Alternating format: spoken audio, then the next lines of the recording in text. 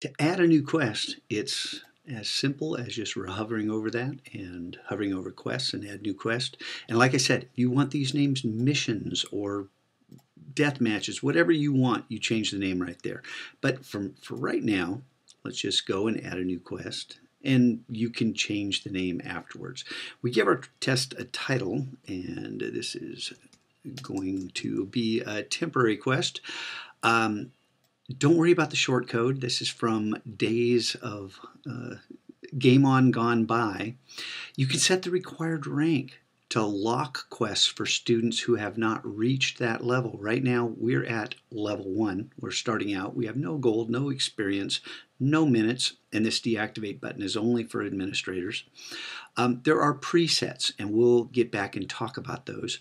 But for right now, you can pick any one of these tiers. I want to go ahead and jump to level two. So um, want to get enough XP to get there. You can have a time filter. Set this so students, if you're keeping track of time, they need to have X amount of minutes, not O time, maybe for something fun. There's all kinds of customizable options here. Now, the points and currency. Points, experience, currency, um, gold, in our setup, you may change these to whatever you want in the options page. You can even, after this, this preset for the tiers, filled out these fields automatically, so it populated these.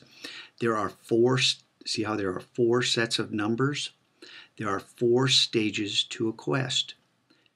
Encounter, accept, completion, and mastery. And you can change those names as well.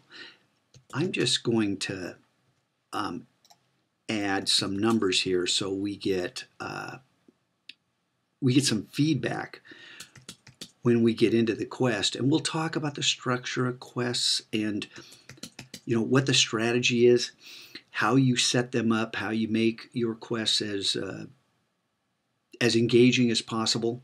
And then there's the option to select to make things repeatable. We'll go ahead and leave that for the future.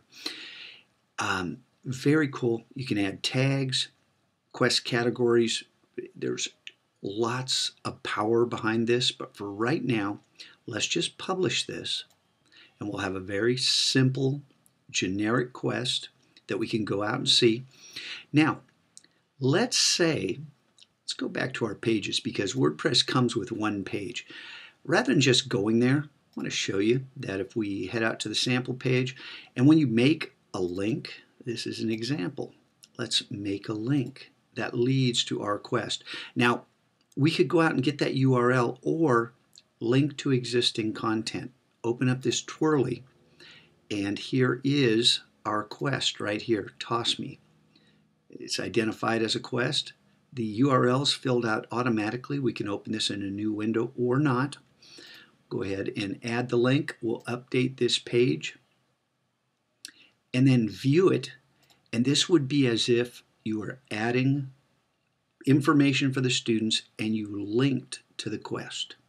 So when a student clicks on the quest, I want you to notice a couple things. Here's glitch number two in Game On, is your points and currency are tracked automatically and live with one exception and that is when you first encounter, this is not going to register any change. So when we click on this is an example which takes us to our quest. We get the ground notification that we got 5 XP, which was the uh, the number that was set back on the quest page.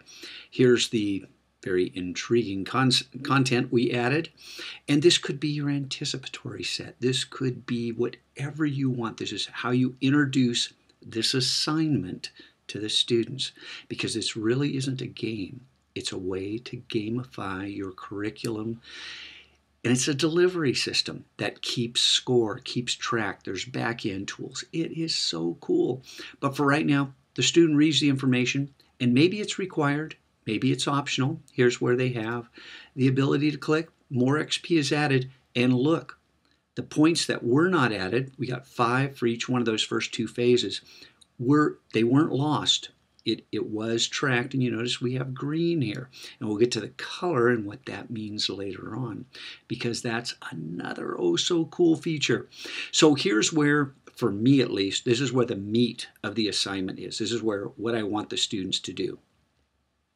And this can be self-assessment or it can be a verification and go ahead and complete that quest. You've done what's necessary. So there's more XP and gold. So currency comes into play here. You can do this differently if you want. The idea is we want students completing their projects and then mastery-based learning. What do you want them to do to prove they have mastered the concept? This is where the bulk of the XP is, and this is where students work hard to gain that extra credit. Now, look, once again, we're, we're climbing up this ladder, and I'm hoping, yeah, level two. So I did collect enough XP so that we did jump to the new level. You can see that right now, if we roll over this, we're on level two and we've accumulated gold and XP as we move on. This is 20 out of 165, but this is 170. What's up with that? This is the total amount of XP. This is the amount of XP a student needs in order to get to the next level. Kids understand this. We take time to figure it out. So that, and if you wanted to edit the quest, it's all round trip editing. You come back, you're in your quest field. If you didn't like stuff and kids haven't yet encountered it, you can change points. You can change anything at all. Do your editing inside these um, these WYSIWYG editors. Uh, very easy to insert images, links, all the rest. So cool. So other things have happened behind the scenes that we haven't gotten to if I explained them all, this movie would go on for another hour and a half. That's how easy it is to create a quest, to see the points get tallied, and ah, if if this doesn't look good to you right now, well, maybe this isn't going to work. But if it doesn't look good to you, ask yourself, why wouldn't I want to use this? If it looks good to the kids, if they like engaging in learning via this vehicle. Think about it.